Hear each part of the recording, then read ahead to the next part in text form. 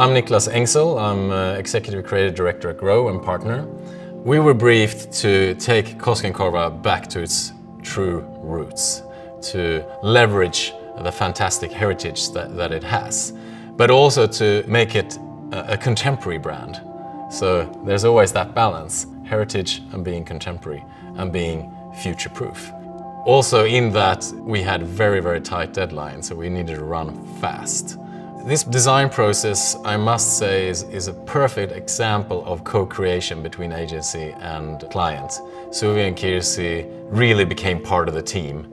So it definitely uh, would not have been able to ended up where it did without their commitment. Uh, they really drove this uh, in a fantastic way.